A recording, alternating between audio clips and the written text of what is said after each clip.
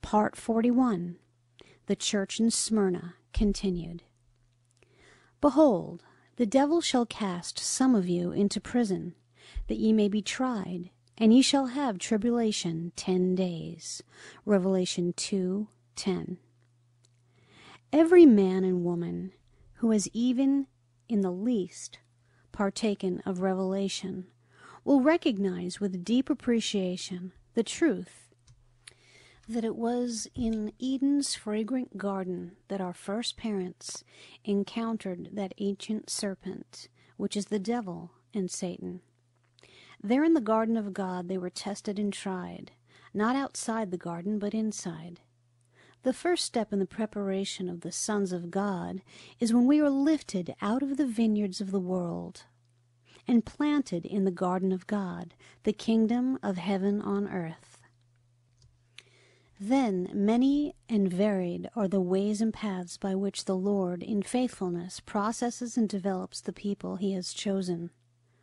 A most important aspect of this preparation is found tucked away among the priceless gems in that treasure house of truth which is the Song of Solomon. Awake, O north wind, and come, thou south, blow upon my garden, that the spices thereof may flow out. Song of Solomon 4:16. Some of the following thoughts are gleaned in part from the book Christ and His Bride by Cora Harris MacIlravy. The garden, which both in Genesis and the Song of Solomon has the significance of the kingdom of heaven on earth, has been set up by Jesus Christ through his death, burial, resurrection, ascension, and return as the Holy Spirit. In this garden, God has planted precious plants, stately trees, costly spices, and aromatic herbs. This garden is not only the universal kingdom of the Lord, not only does God's called and chosen elect live and feed and work in this garden, but we are part of it. Each of our lives is a little vineyard or orchard or spice garden, which is part of God's great garden. Thus we pray earnestly that the work which the Holy Spirit must do in our gardens may be done to the glory of God. Very often we are more inclined to ask God to bless us, supply our needs, heal, deliver, perform miracles, and flood our souls with glory, than we are to pray that He will deal, purge, prune, dig, and uncover all that is hindering His perfection in our lives. Ah, the blessings will come, the fullness will break upon us, but the north wind must blow first. There is a mighty cry from the yearning heart of every son of God in this significant hour. Awake, O north wind! We are earnestly longing for him to blow upon our gardens in stripping and dealing and testing, however it may be, on the flesh. We are praying most fervently that God will send his Spirit as the north wind to search out the pride, to search out the self interest and self will, to search out the soulish passions, emotions, and desires, to search out even the hidden spirit of Babylon that remains, and that he will blow upon it until it is blasted and drops off, and we are clothed in humility, righteousness, and the mind of Christ. We are praying that the Lord of the garden will send the Holy Spirit as the north wind and strip away the false assurance that believes we have more than we have and mistakes revelation for possession. How many times we assumed that we had entered into possession of the nature of Christ, the mind of Christ, and the power of Christ, the immortality of Christ, and all things that God had shown us and called us to begin to possess. Many times the Lord has let us see the blessedness of the path in which we walk alone with Him, and we thought we had laid a hold upon it. But when He sent by the Spirit the testings and trials to blow upon our lives, we found that He was not yet our all in all, that we were still depending upon someone else or something else, be it our feelings, our works, our faith, our gifts, our ministries, our gatherings, rather than upon the Lord Himself within. How little we recognize our own plans, desires, schemes, and efforts, which are as suckers in our spiritual lives. How little we appreciate the place we give the flesh and our own interests, our likes and dislikes, our experiences and self absorption, our religious activities and our multiplied works, which eat the strength and life out of our relationship with God. When God sends the Holy Spirit as the north wind, he comes and uncovers the flesh and carnality within us, exposing our own thoughts, acts, and position. With a blast of conviction, he blows upon those suckers, and like a mighty wind, he sweeps down upon them to try them. As they fall off, we are left apparently stripped and bare but in reality we are in a better condition to bring forth blossoms and fruit to his glory than ever before. Therefore do we with faith and confidence say, Awake, O north wind, and blow upon my garden. Lord, send the testings and processings that you know I need. Send the hard things that are needed to try every blossom. Blow upon the blossoms in my life that are so beautiful and look as if they would bear the luscious fruit of sonship. Blow upon my gifts, my ministry, my doctrines, my works, my hopes, my plans and doings, and prove them whether they will abide or whether they have no beginning of kingdom fruit in them. There are dealings and revelations in each of our lives which we have gladly embraced. There are callings to higher realms in God that have made much show before our eyes. We have reveled in the high calling of God in Christ Jesus, anticipating our sonship and our place with Christ upon his throne. We have rejoiced in the glory that is to be revealed in us, and the great and powerful ministry to come with his fullness.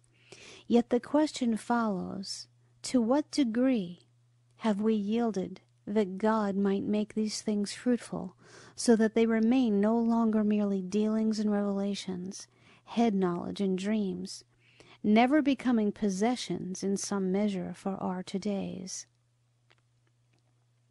God also sends the Spirit as the north wind to blow upon every relationship in our lives, upon those relationships we deem harmless, but which are not of the Spirit nor of God's will, and come between the reality and us, sapping the life of sonship out of us and robbing the inheritance of God.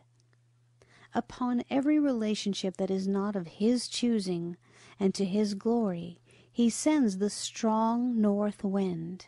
He separates us from everyone and everything that is hindering the maturity of His life.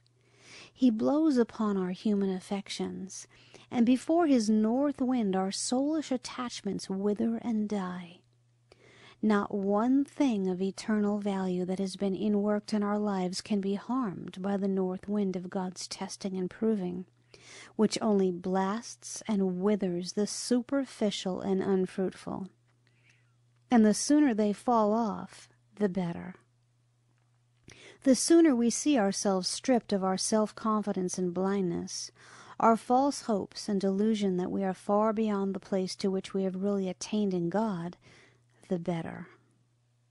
He blows upon our involvement with religious systems, our feverish religious activities, our running hither and thither doing the so-called work of the Lord, our trotting from meeting to meeting, from preacher to preacher, from revival to revival, and before his north wind the anointing upon these avenues of service lifts, and we are left with a bare branch from which the superficial beauty and fragrance has been stripped. It is the strong blasts of the north wind that drive our roots down deeper and deeper into the soil of his life until that which has gone down and out of sight is greater and stronger than that which appears on the surface. We are astonished to behold some of the most beautiful blossoms of our lives drop off, those in which we had placed much confidence. But the blasts of God's wind, which destroy the fruitless blossoms, also cause the roots of true spiritual life to go down deeper into Christ, and they become firmly rooted and grounded in Him. Thus stripped and with our roots going deeper and deeper into the Christ within, we learn to take the time to wait on God long enough for His life to arise within us, long enough to hear Him speak and have Him divulge His will to our seeking heart. To every apprehended Son of God who has purposed in his heart to follow the Lamb whithersoever he goeth, God will send the searching north wind of the Spirit that his garden may be stripped and prepared for fruitfulness in the kingdom of God. When he has dealt with everything, he will send the south wind of the Spirit in wooing and encouragement, in warm showers of faith and glory and victory, which will refresh and entice the fruitful buds to come out and develop into the fruit of the Christ life. The more testings the Lord sends, the stronger the searching north wind blows upon our garden, the more spices and fruit are perfected, and the more fragrance and glory flow forth from our lives.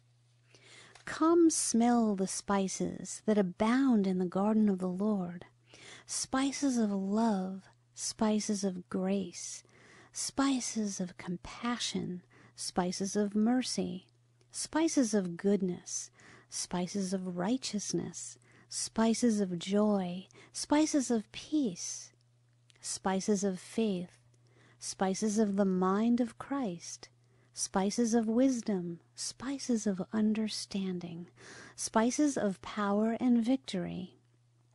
It is not the gentle, soothing south wind that wafts abroad these costly spices of the divine nature.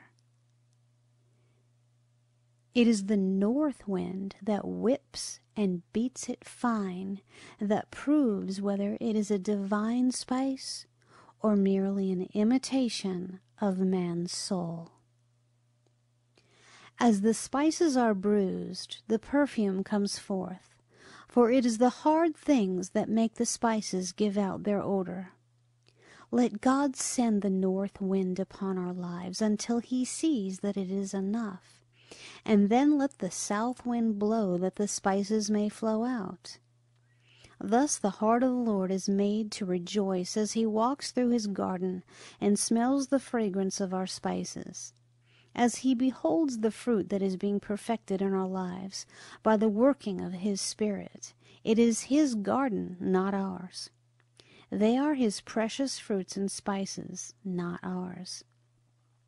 Though they are perfected in our lives and borne upon our branches and are sometimes spoken of as ours, they are really His. For Christ, who is our life, is appearing within us.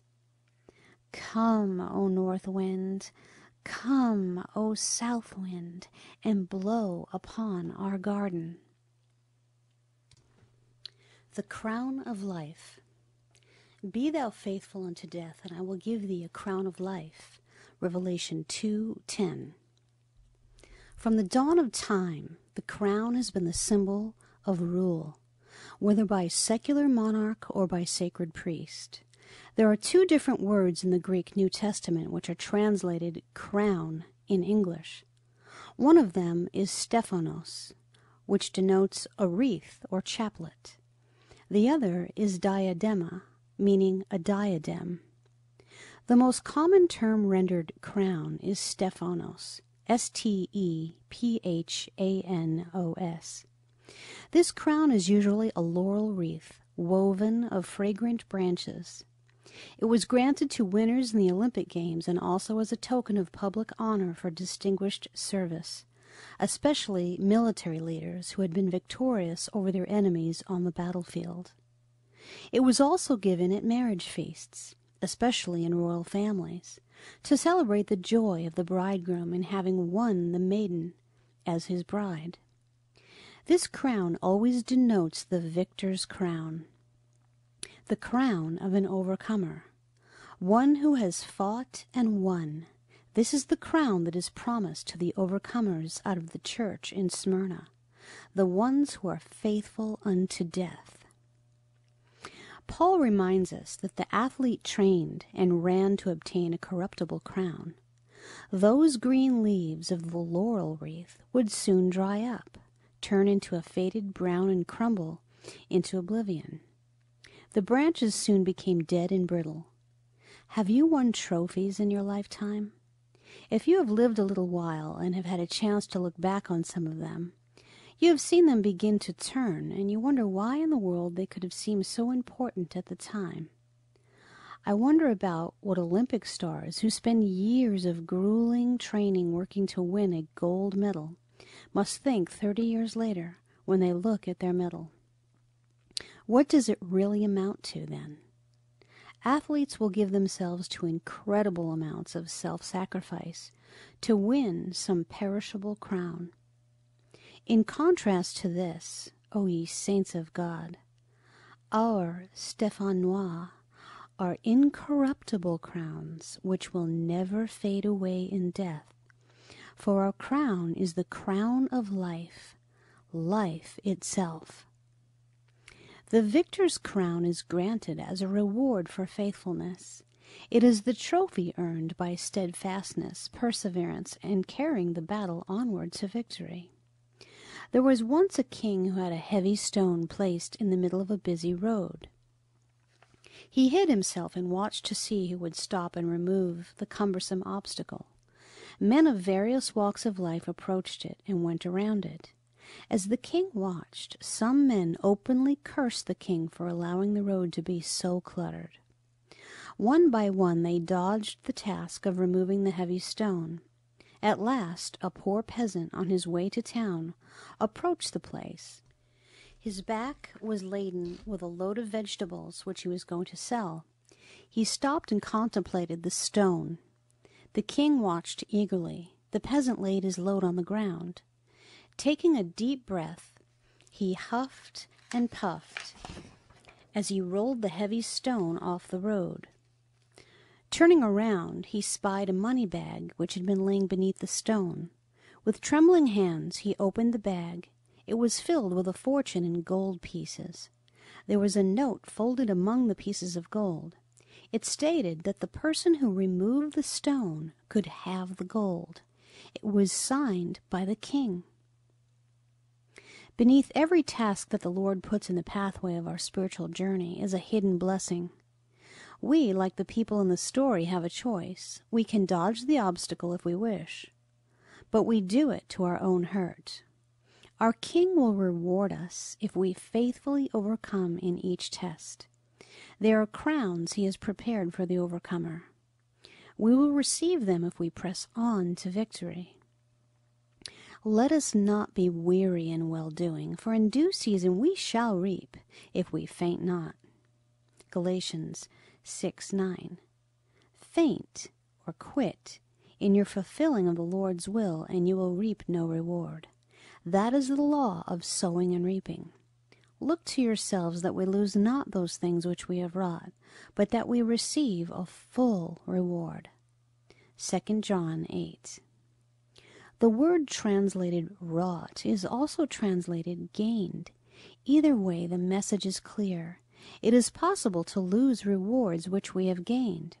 We must be faithful to the end of the journey, to the completion of the process to receive a full reward. Behold, I come quickly. Hold that fast which thou hast, that no man take thy crown. Revelation 3:11.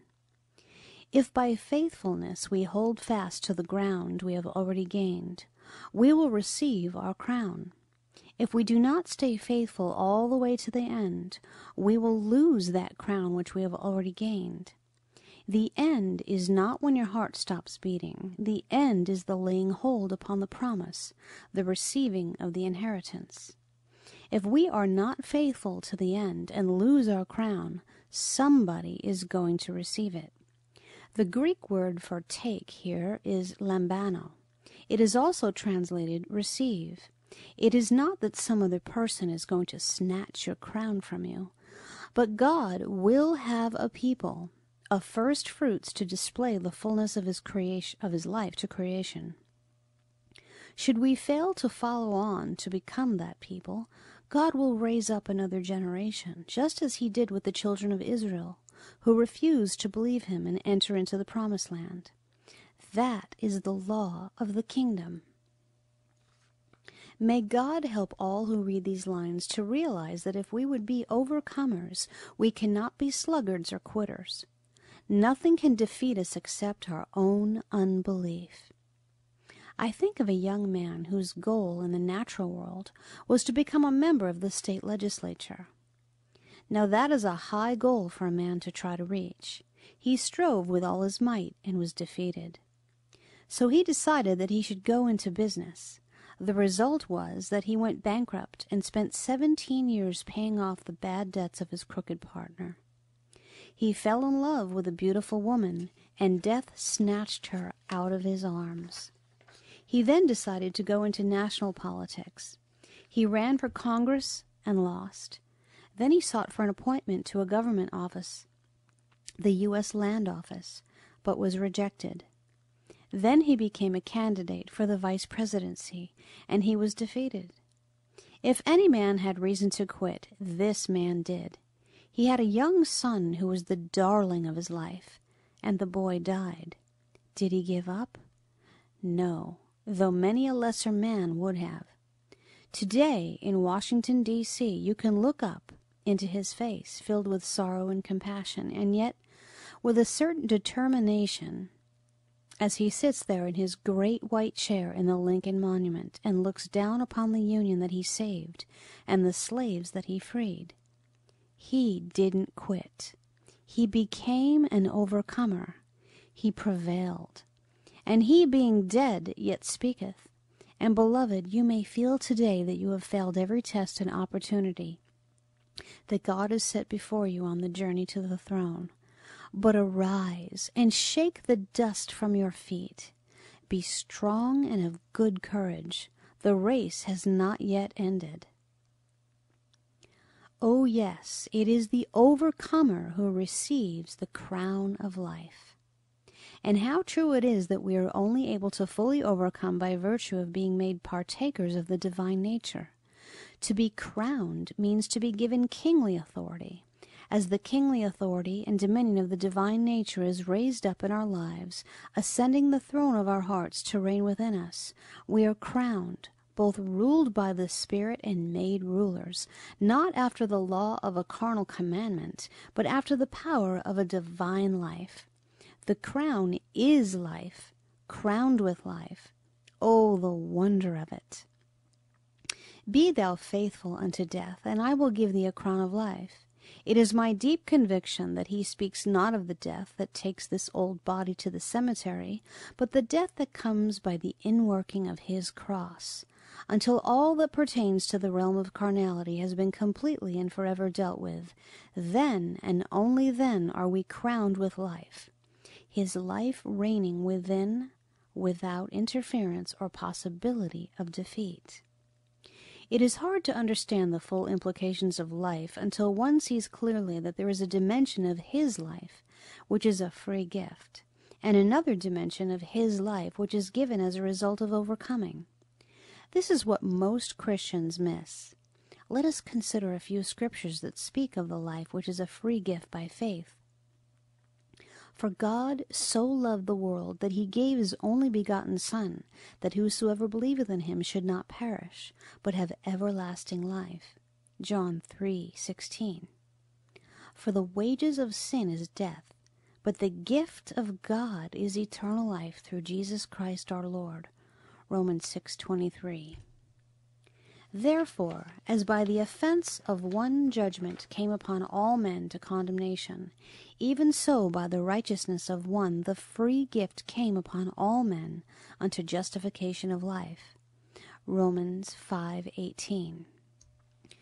Now we shall examine other passages that reveal a realm of life which is not a free gift at all. Blessed is the man that endureth temptation, testing, for when he is tried, he shall receive the victor's crown of life. James 1:12. This crown of life is reserved only for the victors, the overcomers. Consider how great is the exhortation of Paul, wherein he says, Know ye not they, that they which run a race run all, but one receiveth the prize? So run that ye may obtain. And every man that striveth for the mastery is temperate in all things. Now they do it to obtain a corruptible crown, but we an incorruptible. I therefore so run, 1 Corinthians 9 24 and 25. To him that overcometh will I give to eat of the tree of life which is in the paradise of God. Revelation 2 7. That the great apostle himself had not yet, in his opinion, qualified for this crown of life, he states plainly in his epistle to the Philippians Hearken to his words. But what things were gained to me, those I counted loss for Christ. Yea, doubtless, and I count all things but loss for the excellency of the knowledge of Christ Jesus my Lord, for whom I have suffered the loss of all things, and do count them but dung, that I may win Christ, and be found in him. Philippians 3 7 through 9. Surely Paul did not have to go through all that sacrifice, humiliation, stripping, and death in order to have Christ in his life, to be saved. Paul himself had explained to the Philippian jailer the simple requirement for salvation. Believe on the Lord Jesus Christ, and thou shalt be saved, and thy house. Acts 16:31. But in chapter 3 of Philippians, Paul continues, that I may know him and the power of his resurrection and the fellowship of his sufferings, being made conformable unto his death. If by any means I might attain unto the resurrection of out from among the dead, not as though I had already attained, either were already perfect, but I follow after, if that I may apprehend that for which I also am apprehended of Christ Jesus. Philippians 3 10 through 12. Fortunately, Paul gives us some very vital information concerning this resurrection out from or from among the dead, without which we would be very much in the dark. He tells us just how he was planning to be included in it. He also tells us how others came to be included in the same class with him, and he states that the revelation concerning this great attainment and the way into it is the sign of spiritual perfection. Philippians 3 11 through 15. Yet the popular teachers of this day have totally missed these tr- great truths. Let us consider them very carefully. They are of the utmost importance to all who treasure the beautiful hope of sonship to God. Paul informs us that he had given up the world. He had given up his former religion among the Jews. He had given up everything that he might suffer with Christ, with his nature transformed to die even as Christ died. If by any means I might attain unto the resurrection out from amongst the dead. A moment's reflection will suffice to convince the reader that the Apostle is not speaking here of the broad truth of the resurrection of the dead, inasmuch as everyone must rise again. There shall be a resurrection of the dead, both the just and the unjust. Acts 24:15. In the Greek language, the resurrection of the dead is nekron, N E K R O N, or ton nekron, T O N N E K R O N, and is applied to all classes of people because all will be raised. But the term ek, ek, nekron, out of the dead, is not once applied to the unjust or the ungodly or in, in any general sense.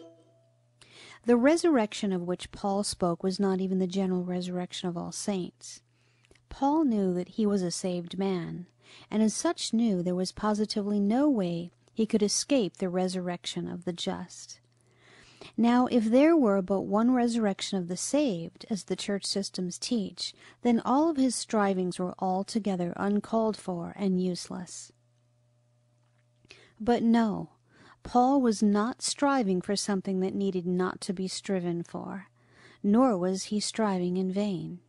And thus he wrote to the saints at Philippi But whatever former things I had that might have been gains to me, I have come to consider as one combined loss for Christ's sake.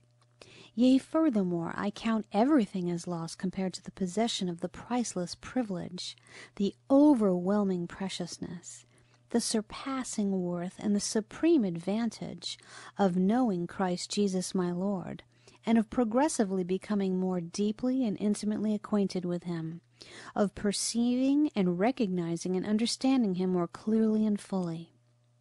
For his sake I have lost everything and consider it all to be mere rubbish, in order that I may win Christ, that I may in the same way come to know the power outflowing from his resurrection, and that I may so share his sufferings as to be continually transformed in spirit into the likeness of his death, in the hope that if, if possible I may attain to the resurrection that lifts me out from among the dead, even while in the body. Not that I have attained this ideal or am already made perfect, but I press on to lay hold of and make my own that for which Christ Jesus has laid hold of me. Philippians 3 7 through 12, Amplified. Ah, my beloved, the resurrection of the dead is one thing, but the resurrection out from among the dead is mightily different thing. If all the people in a building leave it at the same time, it is the coming out of the company. But if only some of the people present leave, theirs is a coming out from the rest of the company. It was for this resurrection out from the dead that Paul longed continually. This was the bright and blessed hope that shone upon his soul and cheered him among the sorrows and trials, the toils and the difficulties, the buffetings and the conflicts. Every soul who dies, both saint and sinner, must be in the resurrection of the dead. For as Adam all die, so in Christ shall all be made alive. There is no possible way of avoiding it. Christ has bought it and paid for it. To be a partaker, however, of the resurrection from among the dead, and as the Amplified Bible so beautifully brings it out, to attain to that resurrection that lifts us out from among the dead, even while in the body, that Paul tells us is a special blessing and a distinction for those who follow on to know the Lord. He says that perfection or completeness in the full stature of Christ is the prerequisite. These not only are clothed with everlasting life in the Spirit, they are invested with such incorruption and immortality in spirit, soul, and body as to be forever and completely beyond the capacity to sin or the capability of death. This happens while we are walking around on two feet. This is not merely never ending spiritual life, but a crown of life, God's own divine and eternal life in the fullness of Himself.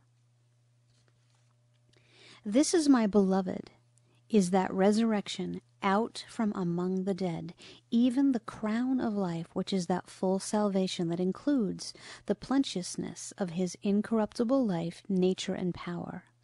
It is the full salvation of spirit, soul, and body in the here and now, a victory so complete, so powerful, so divine and eternal, that there is no possibility of ever sinning or dying again.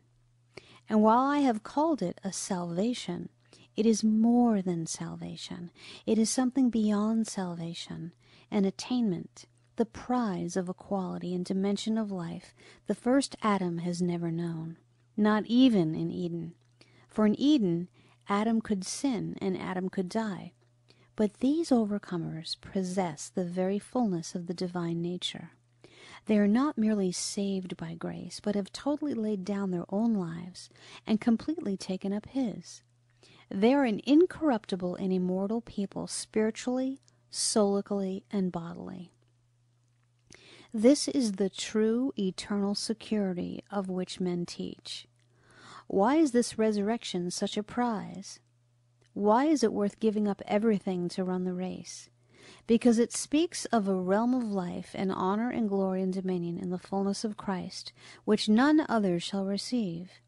It is reserved for overcomers alone, not for the general run of Christians who have hobnobbed with the world, fornicated with the harlot religious systems of man, and counted other things more precious than the prize.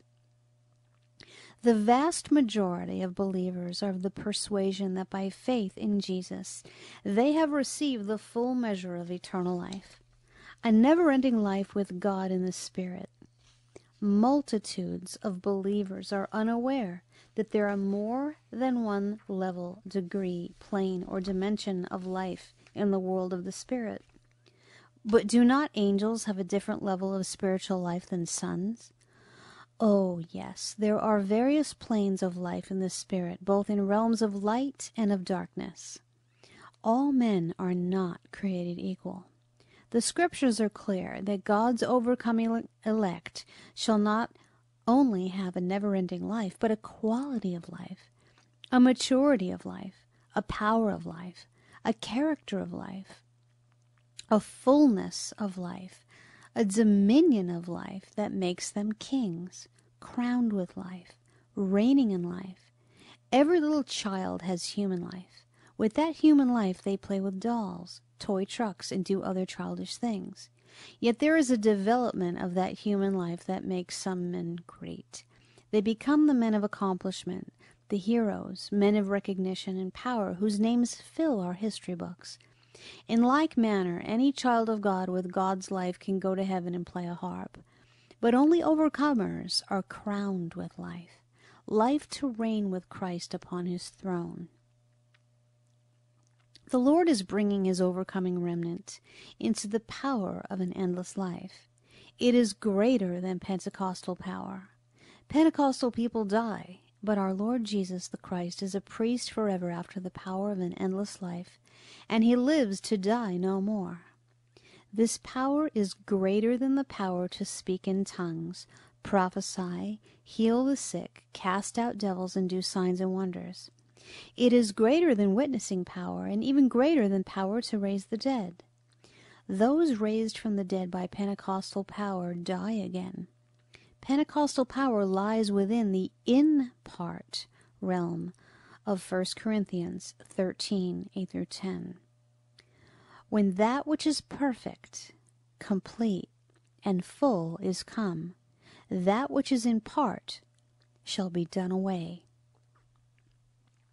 Soon, very soon, those power, powers will no longer be needed because the manifest sons of God shall arise in the power of the Melchizedekian priesthood after the power of an endless life, to deliver creation from the bondage of corruption.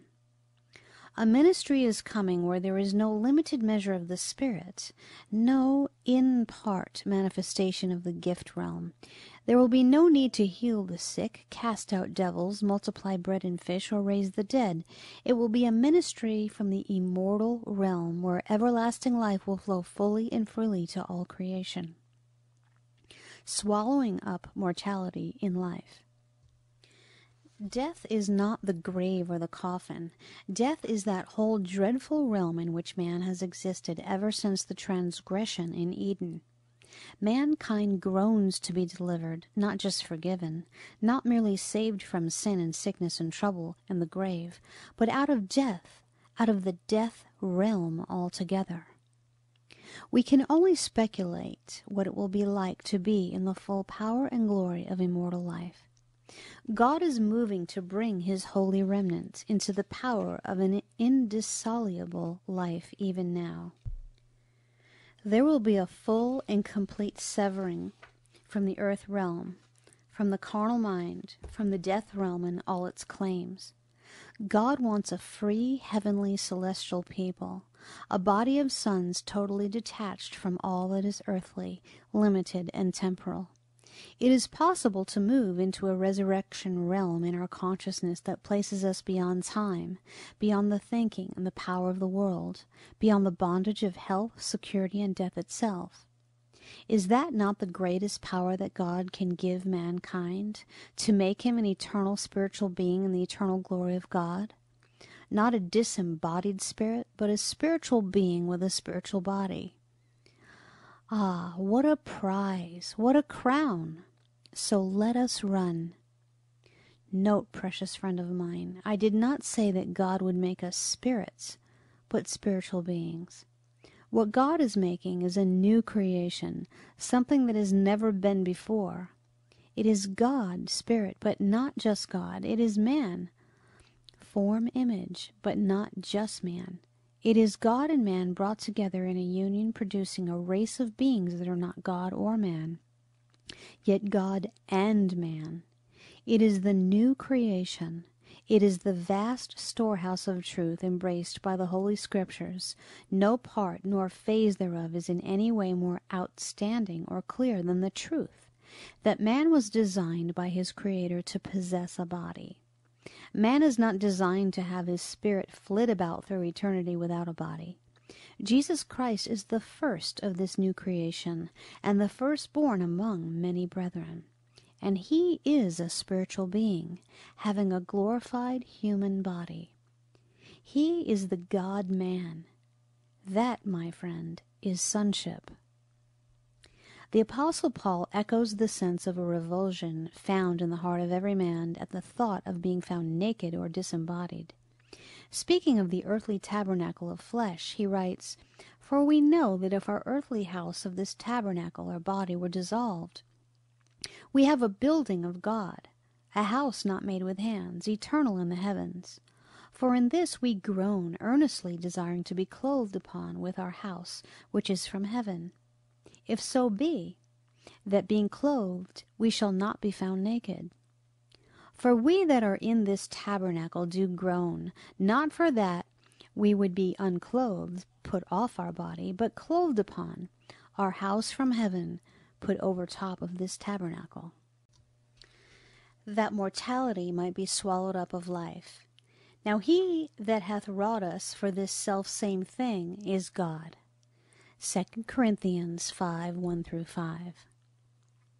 There is another body, thank God, formed of the incorruptible life of the resurrected and glorified Christ of God, the second man, the last Adam the God man, the spiritual man with a spiritual body, the firstborn of the new creation species. This marvelous body is from heaven, just as my present body is from earth. It is the offspring of the last Adam, just as my flesh body is the offspring of the first Adam.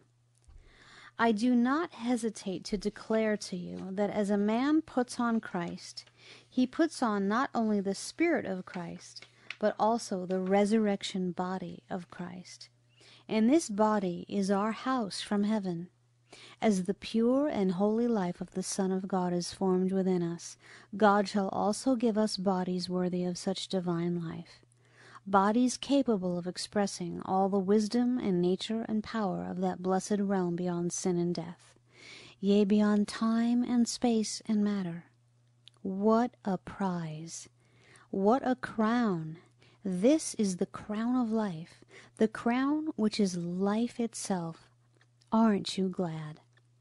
God is even now bringing forth an incorruptible people, overcomers, those who shall overcome all things, and of them finally it shall be said, They fought many, many bouts and were crowned every time. No more weakness and failure, no more flunking two tests and passing one.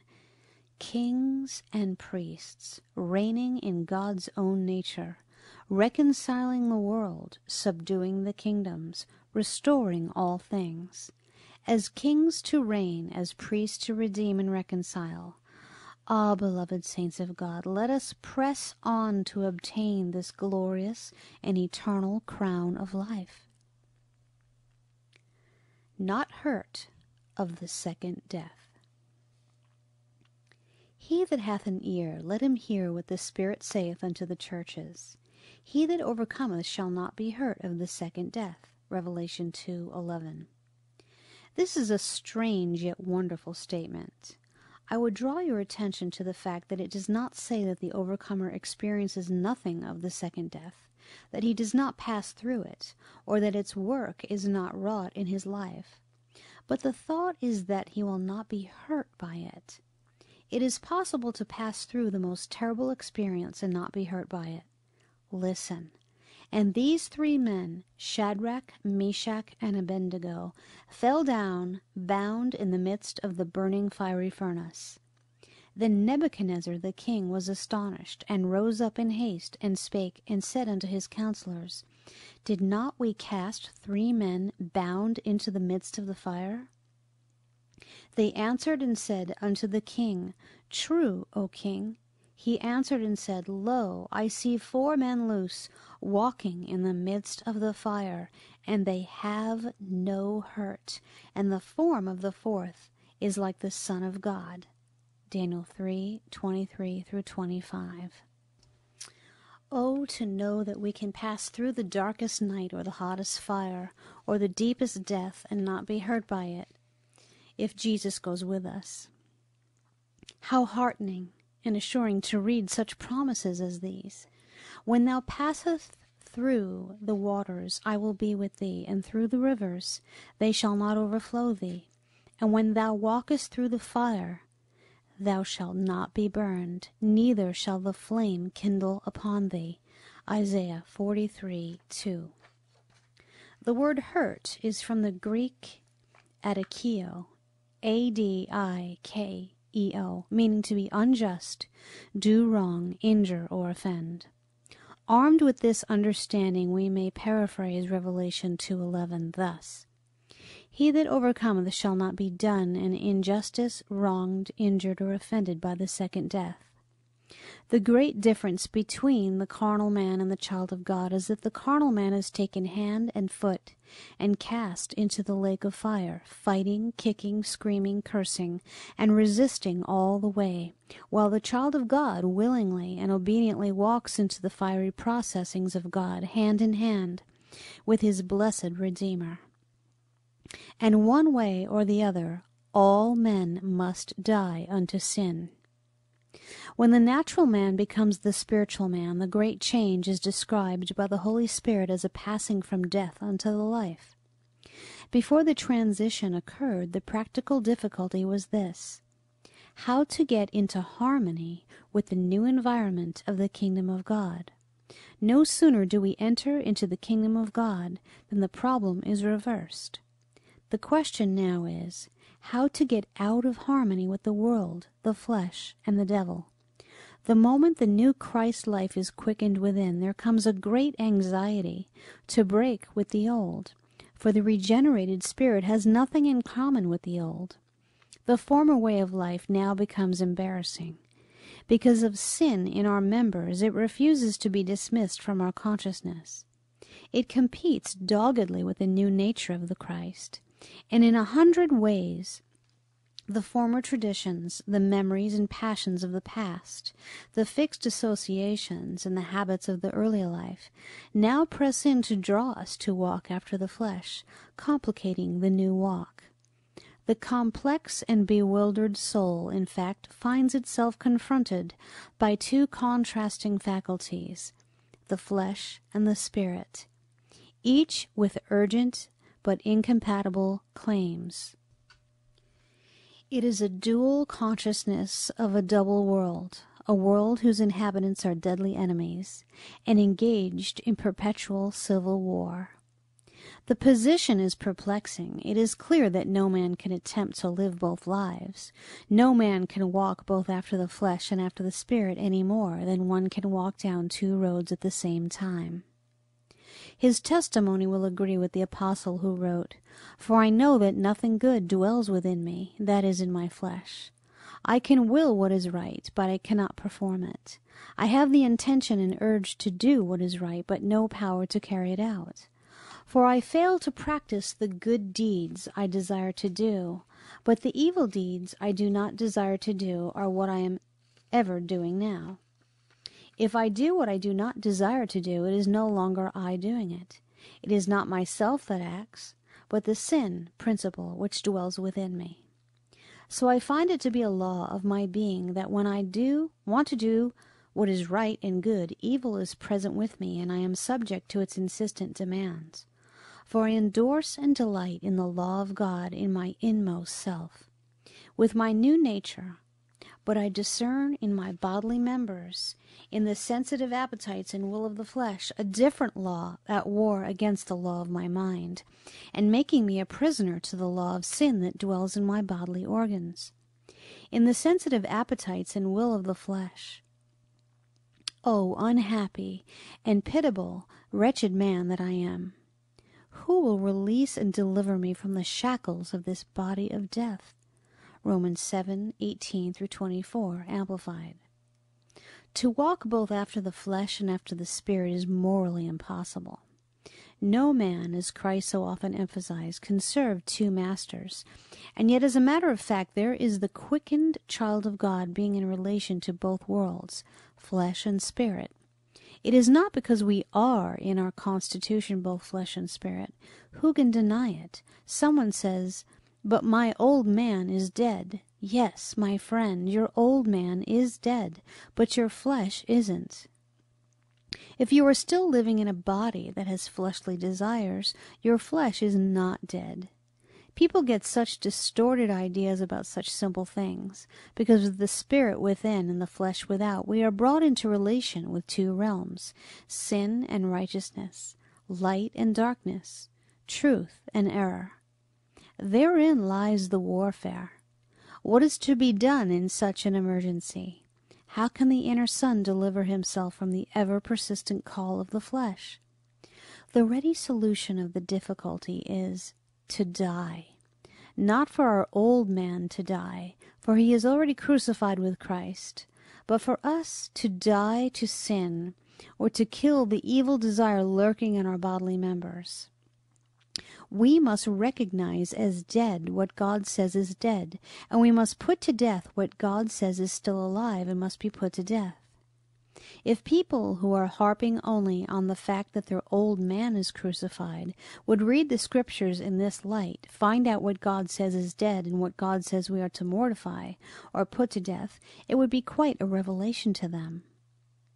So kill the evil desire lurking in your members those animal impulses and all that is earthly in you that is employed in sin, sexual vice, impurity, sensual appetites, unholy desires, and all greed and covetousness, for that is idolatry. Colossians 3 5, Amplified. To die to any reality is to withdraw correspondence with it, to cut ourselves off from all communication with it. The solution of the problem will simply be for this for the spirit life to reverse continually the processes of the fleshly life, the spirit man having passed from death unto life. The fleshly man must next proceed to pass from life unto death. Regeneration of the spirit, in short, must be followed by the degeneration of the flesh, the carnal mind. And this death process is the second death, the death of death. Now it is no surprise to find that this is the process everywhere described and recommended by the Holy Spirit. Paul asked the burning question, Who will deliver me from this body of death? And swift came the answer, Oh, thank God, He will, through Jesus Christ our Lord. Romans 7 24 and 25. Listen to the words of the Apostle as he presses this beautiful truth home to the hearts of the understanding saints in Colossus. If then you have been raised with Christ to a new life, thus sharing his resurrection from the dead, aim at and seek the rich eternal treasures that are above, where Christ is, seated at the right hand of God and set your minds and keep them set of what is above, the higher things, not on the things that are on the earth. For as far as this world is concerned, you have died, and your new real life is hid with Christ in God. So kill the evil desire lurking in your members. Put away and rid yourselves of all these things anger, rage, bad feeling toward others, curses and slander, and foul mouthed abuse and shameful utterances from your lips. Do not lie to one another, for you have stripped off the old, unregenerate self with all its evil practices, and have clothed yourself with the new spiritual self, which is ever in the process of being renewed and remolded into fuller and more perfect knowledge upon knowledge, after the image of Him who created it. Colossians 3 1 through 10, Amplified. Let me repeat all men shall die to sin. Some lovingly submit to God's dealings that the dreadful death of the carnal mind in their members may be mortified or put to death, while others must be subdued and broken under the severe heat of refining fire. The former pass through the death to self, but are not hurt by it. By dying in a living and active faith to everything of the flesh and living by the indwelling power of the Holy Spirit, a perfect work is wrought in which everything that is in any way opposed to God is brought to death. These become what God seeks in order to satisfy his heart. In the measure that we are identified with the cross of Christ and made conformable to his death, in which it is no longer our will but his, in that measure we are dying out to the first death via the process of the second death, the death of death, our whole being coming up in the likeness of his resurrection. The second death, the destruction of the carnal mind and its hostility and enmity against God, is not to be feared by the called out, overcoming elect of God. It is God's arrangement where all the effects of the first death shall be disannulled and all carnal mindedness shall cease. For us who willingly submit to this process, no man taketh our life from us, we lay it down. But for those who will not lay it down, I do not hesitate to say that it will be taken from them. Let me quote the timely words of Ray Prinzing. Now, while we see the victory of the ultimate, a complete triumph over death, first death, second death, all death to ultimately be brought to an end, there is a present tense application which is before us. God has apprehended in this hour, as in all preceding generations, a remnant in whom His Spirit is working. And they are becoming daily experiential partakers of His death, overcoming all the desires and lusts of the carnal mind. To those who now overcome, the same shall not be hurt of the second death, when it is manifested in its more severe forms, as portrayed in the term of being a lake of fire. Praise God with the inworking of the Holy Spirit, enabling us to overcome all the evil of this present age and all the carnal mind. We shall not be done in injustice by the second death. The whole process is unto victory.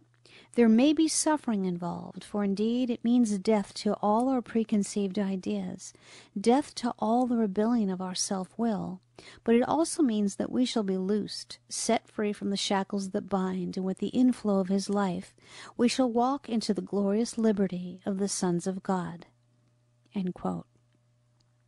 Make no mistake about it. There are multitudes who shall resist God until the extreme measures he must use to subdue them are beyond our comprehension. For them the second death shall hold terror, and will prove a most painful experience. Let us die now. Let us die to sin now. Let us die to our stubborn wills now. Let us die to our fleshly ways now.